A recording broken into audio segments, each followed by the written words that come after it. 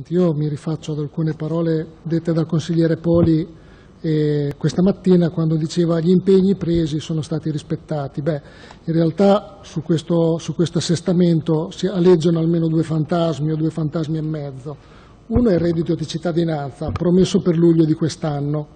non pervenuto, a parte che questa mattina c'è stata una conferenza stampa per dire che, che forse si fa qualche cosa o forse anche per mettere una pezza alle dichiarazioni del Presidente Bonaccini che in questi giorni ha detto il reddito di cittadinanza a luglio-settembre cambia poco, forse per il Presidente cambia poco, ma per chi aspetta quel, quel provvedimento, che poi lo vogliamo capire perché è una social card in salsa emiliano-romagnola, vabbè, di questo ne discuteremo, ma perché in seria difficoltà economica o sociale e lavorativa da luglio a settembre molto cambia. Il microcredito aleggia perché quei tagli ai costi della politica sono ancora lì fermi, non pervenuto, a parte un tentativo comunque apprezzato di passaggio in commissione, però ancora tutto fermo, 2 milioni di euro fermi, un milione e mezzo nel 2017-2018 non ancora messi in previsioni e oggi aspettavo una risposta a un'interpellanza ma purtroppo l'assessore cortesemente ha avvisato che non poteva essere presente e quindi anche qui rimandato a settembre. L'altra mezza promessa, vitalizi, dopo averci bocciato tutto, adesso pare che stia arrivando un provvedimento, su cui dico mezzo perché effettivamente un'interlocuzione si è avviata,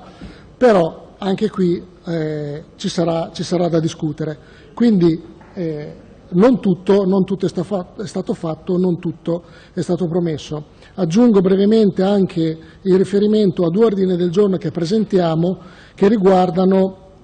e anche qui noi stiamo sempre sul merito, consigliere Poli, non siamo solo polemici. Il nostro, il nostro compito è quello, uno, di fare proposte, e le proposte le facciamo e vediamo che anche oggi sulle nostre proposte, nonostante voi ce le bocciate tutte sonoramente, vedo che almeno abbiamo compattato le minoranze, anche le minoranze della maggioranza, su diversi emendamenti, quindi non, non buttiamo lì cose a caso e quando ci incattiviamo, come dice lei, su alcuni aspetti è perché gettiamo luce su alcuni aspetti che secondo noi non vanno bene. Gettare luce su alcuni aspetti in maniera polemica, non polemica, veda pure lei, aiuta la macchina eh, regionale a funzionare meglio. Questo è quello che pensiamo noi.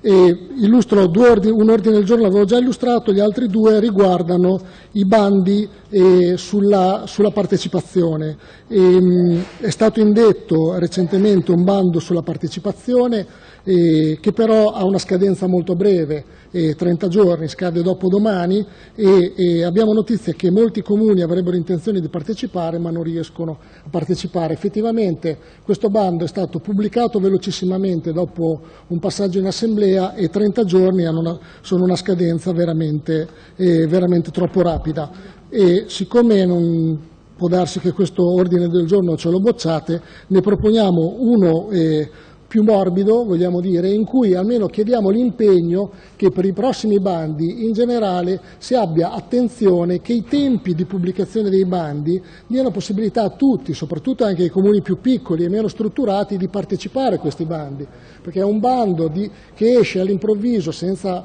un grosso preavviso e dura 30 giorni, non dà tempo a chi non è molto strutturato né di leggerlo né di capirlo né di poter intervenire. Quindi proponiamo un ulteriore ordine del giorno che per i prossimi bandi conceda dei tempi di, di lettura, di comprensione e poi di partecipazione. Grazie.